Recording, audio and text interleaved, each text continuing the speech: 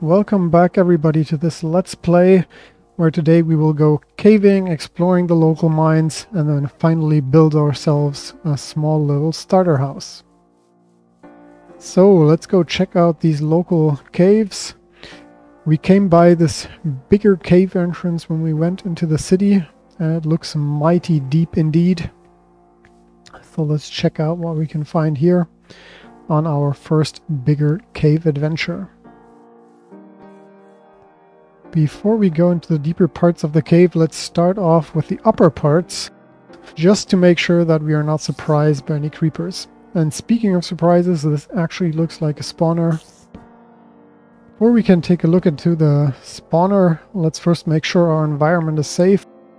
At the moment that is definitely not the case, we've got two creepers on our tail, but not a big problem.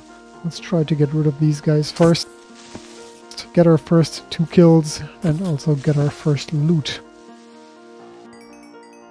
Now let's quickly pick up this experience dropped by these guys and then actually start digging into the spawner.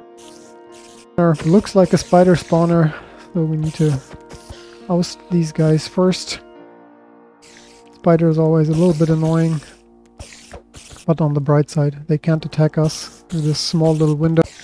So we make sure to kill them all before they can actually reach us. Looks like we killed most of them.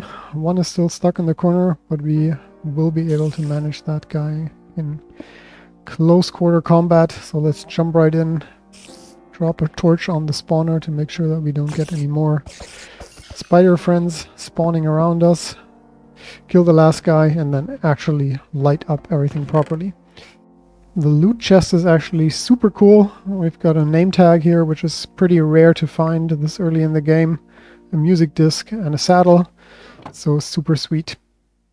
Now before we continue, let's quickly grab all of the coal that we've got around here.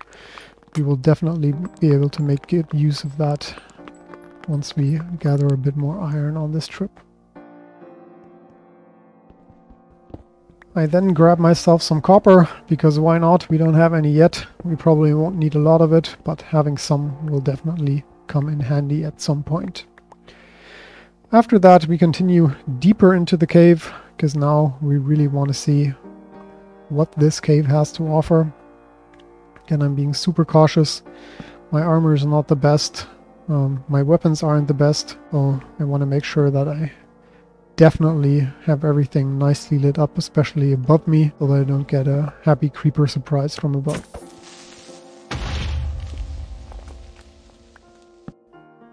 Let's grab a quick rest before we continue, and then let's start down the cave. We're actually surprised again by a creeper, this time jumping in from the back, and that could have been our end for sure. Let's take a deeper look, and as luck will have it, I accidentally look straight into the eyes of an Enderman. I actually slightly panic at this point because I'm really afraid of what this guy will do to me, but I decide one can't be too hard, so we go straight into the fight. And it actually works much better than I expected. So we only get hit once before we oust this Enderman. Unfortunately, no Ender Pearls for us this time.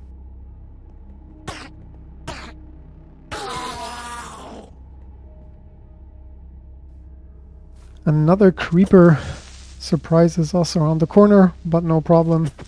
We can get rid of this guy and then grab that nice little bit of iron that we can see on the floor before we continue deeper into the cave. As we drop in deeper into the cave, we get our first glimpse at some actual lava, which is also really nice. And we get our first glimpse into the full depth of the cave. And it looks absolutely massive. Of course, we have some visitors. Luckily no creepers this time, just a small little zombie. As you can see, my crit attacks are not really up to par yet. But we continue fighting our way through the hordes, getting better and better at those crit attacks. And what is that? It looks like maybe a sculk sensor. Definitely looks like the deep dark all the way below. So to get a better look, we try to go in a little bit not closer.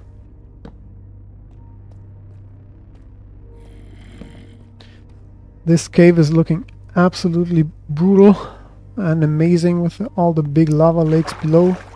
We found some lapis here and there's a zombie below, so let's get rid of that guy. Jump him from above quite successfully before we can get rid of him. The cave does look quite amazing with the deep dark at the bottom, but at this point I decide maybe it's better to bail out and collect the resources that I came by on my way down before I actually start heading home to be safe first. It's time to gear up first before we start down into the deep areas of the cave. The deep dark definitely too dangerous for now. Seeing as I have a saddle now from the spawner, I actually decide maybe I should just tame a horse, which is always a great way to get around much, much quicker as we start exploring the map with our newfound friend here. There is another really deep cave here, but we'll ignore that one for now and continue exploring. I actually run into a lot of water where I decide that might be worth investigating a little bit, but before I can head out on a boat, I definitely need to build a little home for my new friend so he does not run away and I find him when I get back.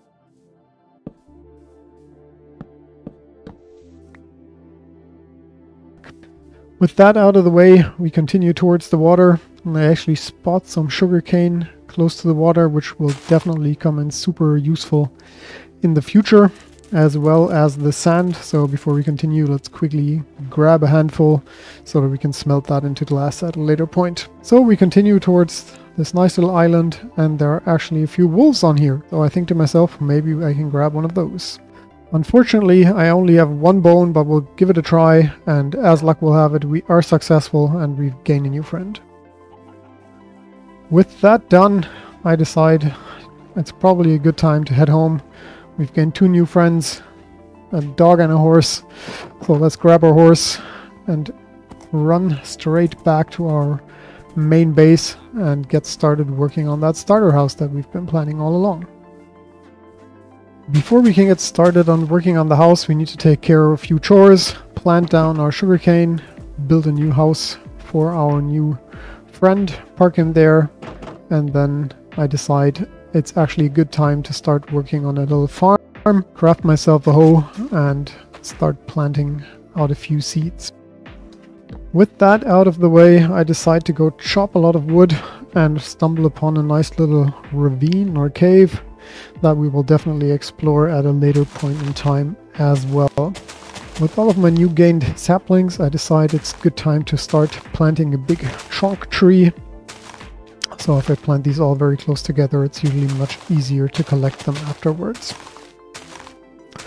Nicely lit up to make sure they also grow at night.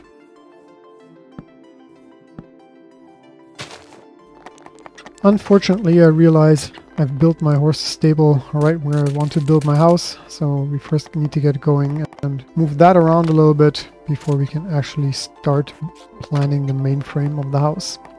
We do this by setting down the first initial frame so that we can get a good understanding of how much space the house will occupy before we start working on the details.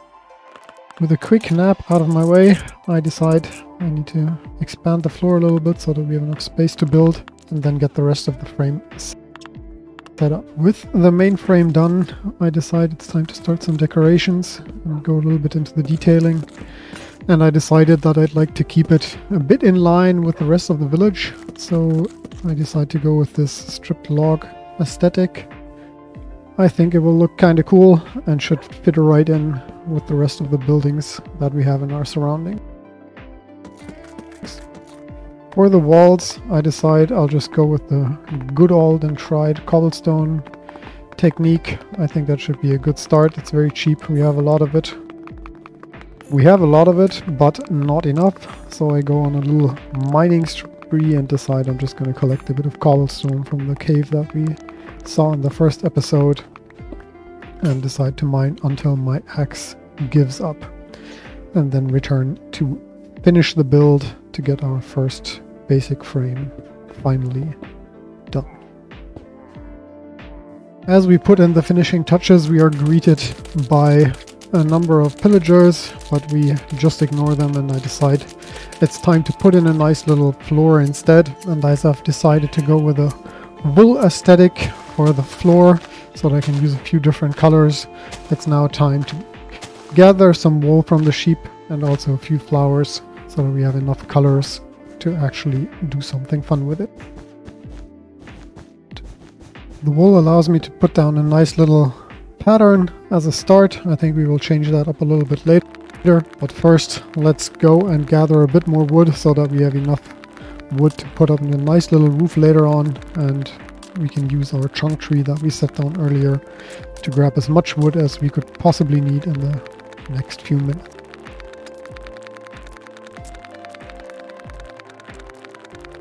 With all of the wood collected, I decide to head back and set up a little bit of a storage area in our house so that we can store all of the items that we collect nice and neatly and I move all of my old storage inside, a move I should come to regret later on because as we can now see the iron drops to the floor and I actually forget to pick it up, so it will despawn without me knowing.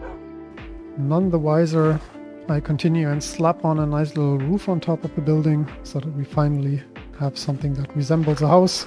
And with that, it's time to remove our old navigational pillar as the house will be visible from afar. With the outside of the building done, I decide it's now time to add in a few windows and turn towards internal decoration. Since I've added a nice little chimney outside, I also try to add a chimney pipe on the inside to give it just this slightly more cohesive feeling. Next I wanted to add some nice little lanterns, but alas I cannot find the iron that we dropped a few minutes ago as I frantically search my chests and then at some point just decide to give up. As my iron is indeed nowhere to be found, I decide it's much better to put the finishing touches on the house and complete the roof from the inside, and I must say it is looking nice and cozy indeed. As a final touch, I want to expand my farm just a little bit before we head down to the night. And that was it for today's episode. Like and subscribe, and see you in the next one.